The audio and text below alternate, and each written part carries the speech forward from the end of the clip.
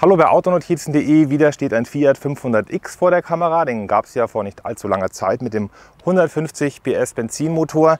Der steckt auch hier drin, so viel sei schon mal verraten. Einige von euch hatten ja gefragt, oh, gibt es nicht mal vom City SUV der 500er Baureihe ein Abarth-Modell? Nein, das wird es nicht geben, aber Fiat bringt jetzt zusätzlich zum Urban und zu den Cross, also Cross und City Cross Varianten, den Fiat 500X als Sportmodell auf den Markt. Der unterscheidet sich optisch schon mal von den Brüdern. Er kriegt einen neuen Stoßfänger vorne, breiter, hier mit großem Lufteinlass unten. Dann gibt es hier diese grauen Einlagen um die Nebelscheinwerfer. Auch hier um das Fiat-Emblem graue Einlagen. LED-Scheinwerfer sind hier verbaut. Ebenso grau sind die Leichtmetallfelgen. Serie sind 18 Zoll. Hier haben wir 19 Zoll Felgen, die es als Option gibt, verbaut am Testwagen. Das Sportlogo darf natürlich auch nicht fehlen. Wir haben graue Außenspiegelkappen und Türgriffe, andere Seitenschweller, die auch das Auto optisch tiefer und breiter wirken lassen. Und am Heck gibt es einen neuen Heckstoßfänger mit Diffusor. Unten sehen wir hier das Doppelendrohr. Die Griffleiste hier ist auch grau. An der Hardware ändert sich natürlich primär nichts. Wir haben einen 350 Liter großen Kofferraum. Das Auto ist knapp 4,27 Meter lang. Hat damit natürlich jetzt in dieser Boom-Klasse auch Konkurrenten wie ein VW T-Roc, aber nehmen wir auch mal, die dann vielleicht ein bisschen größer werden, Kia Exceed, Mazda CX-30 und so weiter, mit denen er sich dann hier um die Kunden natürlich bemüht. Im Innenraum bleibt der Fiat 500X sich soweit auch treu. Ich gehe mal rein. Und nachdem er sich treu bleibt, ist er hier nicht der geräumigste. Ich bin, die meisten von euch wissen das, 1,92 Meter groß, habe die Vordersitze auf meine Größe eingestellt, passt dann hier schon rein. 500 Kilometer würde ich jetzt nicht reisen wollen, aber die Bank ist schön hoch montiert. Man sitzt also mit wenig Winkel in den Beinen, deswegen bequem. Die Füße passen gut unter die Vordersitze. Die Kopfstütze ist auch weit genug ausziehbar, aber das Dach fällt ja nach hinten ein bisschen ab. Wir haben ja fast so eine SUV-Coupé-Form. Die Kopffreiheit ist dann nicht ganz ideal für meine Körpergröße. Hier sind Ledersitze im Auto montiert, fasst sich sehr, sehr gut an. Es gibt eine USB-Steckdose immerhin für die Passagiere. Hinten kann man sich also hier entweder abwechseln mit dem Stromladen fürs Handheld oder einen Adapter kaufen. Und Isofix ist hier ohne Kappe oder Klappe, sondern man muss es dann hier äh, durchschieben. Aber dafür ist der Isofix-Bügel relativ leicht erreichbar. Eine Mittelarmlehne gibt es nicht, aber die gibt es vorne. Und wie es vorne so aussieht, das schauen wir mir das auch noch an. Im Innenraum gibt es auch graue Elemente, so wie außen an der Karosserie. Also dieses Dashboard hier, das ja in der 500-Familie in vielen Farben existiert, hier eben in Grau. Auch auf der Mittelkonsole gibt es hier neues Dekor mit dieser silber-dunkelgrauen Optik. Allradantrieb ist für den 500X Sport nicht vorgesehen, drum hier eben diese X-Plakette anstatt des Drehreglers. Das Lenkrad kennt man im Prinzip auch aus dem bestehenden Modell. Das ist jetzt hier unten abgeflacht, hat hier rote Nähte im Leder und fasst sich sehr schön an. Materialien können sie ja die Italiener wie Design. Hier diese Alcantara-Elemente, dort wo man die Hände hat, eben auf der Viertel vor drei Position.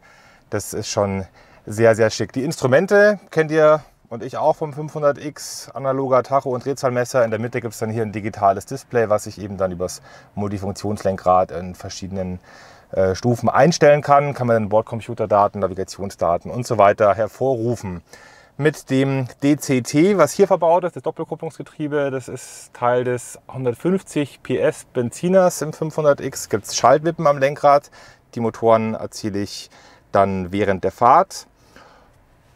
Wir haben ein 7 Zoll Infotainment Display, das ja, gibt es schon seit einigen Jahren. Es ist natürlich auf dem aktuellen Stand. Es hat äh, TomTom Navigationsdaten hier drin. Uconnect heißt es bei Fiat, aber es wirkt halt mittlerweile einfach schon ein bisschen alt und angestaubt, auch sehr klein. Aber ein größeres Display würde heißen, neue Hardware. Also ich müsste hier das Armaturenbrett verändern und da ist gerade das Budget oder der Wille nicht da. Also das Display, wie gesagt, ähm, ja, fast schon auf Smartphone-Größe dieser Tage. Aber soweit alles ganz gut bedienbar. Dann haben wir hier große Tasten, einmal für den Start-Stopp-Deaktivierung, Warmblinkschalter und hier unten die Klimaanlagenbedienung, auch alles bekannt. Zwei USB-Steckdosen, eine für die Connectivity, also Apple CarPlay, Android Auto ist hier mit drin und eine zum Laden. Die Sitzheizung auch hier unten. Die Sitze selber sind schön hoch montiert, eben typisch City-SUV. Die Kopfstützen gehen auch weit genug raus und sind, ich sagte das auch im Fahrbericht zum 500X äh, Citycross, brutal hart. Wenn du hier länger fährst und das Fahrwerk dann so holpert und dein Kopf der mal anhöht, dann, äh, an, anstößt, dann nervt es echt ein bisschen. Mal schauen, wie das hier bei dem Fahrwerk ist. Denn der 500X, der hat ein ein überarbeitetes Fahrwerk mit FSD-Dämpfern. Also die sind frequenzselektiv, stellen sich dann um. Man kann selber nichts umstellen, sondern die Dämpfer. Man kennt es schon von Abarth-Modellen. Und ich bin natürlich gespannt, wie sich das anfühlt beim Fahren. Und das ist auch somit der Hauptgrund, den 500X Sport jetzt auch mal zu erfahren.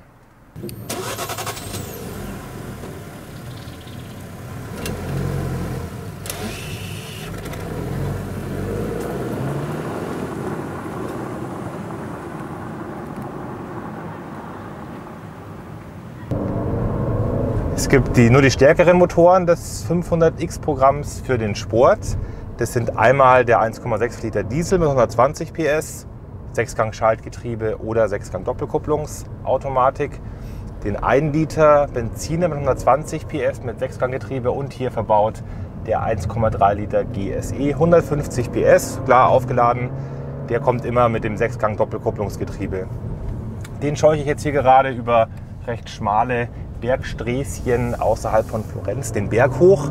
Jetzt haben wir gerade hier so einen Schalldrucken gemerkt. Das DCT muss hier natürlich jetzt kämpfen und überlegen, was ist die richtige Übersetzung für meinen Gasfuß. Aber auf den Straßen kann man jetzt eben das Fahrwerk auch ganz gut testen. Das sagte ich ja schon. Äh, der hat das FSD-Fahrwerk hier verbaut, der 500X Sport, also diese frequenzselektiven Dämpfer, die man auch von Abarth kennt. Und auch damit wird er keine Sänfte. Das Auto schaltet dann also je nach Fahrzustand um zwischen straff und hart bis sehr straff und sehr hart. Komfortliebhaber werden sich natürlich eh kein Sportmodell kaufen und die sind ja beim 500X aber eh an der leicht falschen Adresse, wie ich finde. Aber im Gegenzug macht er natürlich seinem Namen alle Ehre. Er ist durchaus ein für jedes Bürschchen. Der Motor ist ausreichend kräftig. Das Getriebe schaltet nicht immer wirklich zum perfekten Zeitpunkt, wie jetzt zum Beispiel, das ist zu langem hohen Gang verharrt. Aber ich kann ja, wenn ich Lust habe, jetzt hier mit den Schaltwippen eingreifen und selber schalten. Und dann kommt man hier schon ganz gut den Berg hoch, macht also durchaus Laune und ist dann schon so ein Fahrspaß-City-SUV, wenn man das jetzt hier noch mal so titulieren darf. Der Motor selber beschleunigt den 500X auf der Autobahn auf 200 km/h, 9,1 Sekunden ist der Wert für die Beschleunigung 0 bis 100 km/h, also ausreichend kräftig und ja, eben Fahrspaß mit angeschärftem Design, so könnte man das jetzt hier ganz gut titulieren.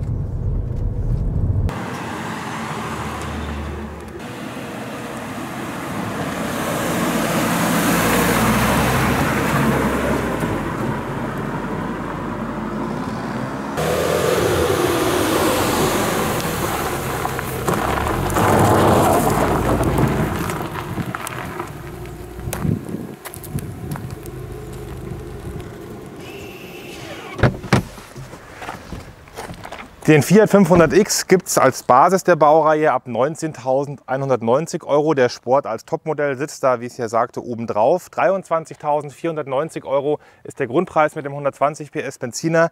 Hier mit dem 150 PS 1,3 Liter DCT geht es los bei 26.290 Euro. Dazu kommen die 19 Zoll Leichtmetallfelgen. Die Farbe wird gewiss und Aufpreis kosten in Deutschland.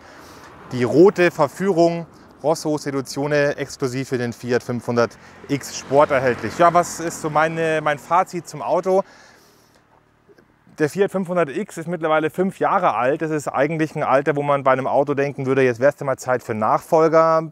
FCA kennen wir auch von der normalen 500 Baureihe, die nächstes Jahr endlich mal Nachfolger bekommt. Die zieht das immer in die Länge, auch natürlich aus Budgetgründen und schafft es dann hier schon mit dem Sport jetzt noch so einen neuen Akzent zu setzen für ihr kompaktes SUV und kann damit vielleicht schon ein paar Kunden begeistern, die ein bisschen mehr Geld ausgeben wollen für ihr Auto, einen besonderen Stil ähm, ja, zeigen wollen und damit dann eben auch höhere Preise und damit eine höhere Marge erzielen. Es ist ein hart gefedertes Auto, das muss man eben mögen, muss man auf jeden Fall mal Probe fahren. Das Infotainment ist eigentlich relativ modern, wirkt aber nur so klein wegen des kleinen Displays. Und ja, die Konkurrenz wird größer und größer und größer, moderner, moderner, moderner den Fiat 500X, den nimmt man sich schon, weil man eben die Form mag, den Stil mag und eben auch den sportlichen Charakter des Autos. Dann würde ich auch sagen, mit dem 150 PS Motor, wenn schon, denn schon. Das ist meine erste Meinung zum Fiat 500X Sport. Ich hoffe, euch hat das Video gefallen. Den Fahrbericht verlinke ich wie immer bei autonotizen.de. Unten steht der Link. Vielen Dank an euch fürs Zuschauen. Danke an Jan von der Autotester fürs Filmen und bis zum nächsten Mal bei Autonotizen. Ciao.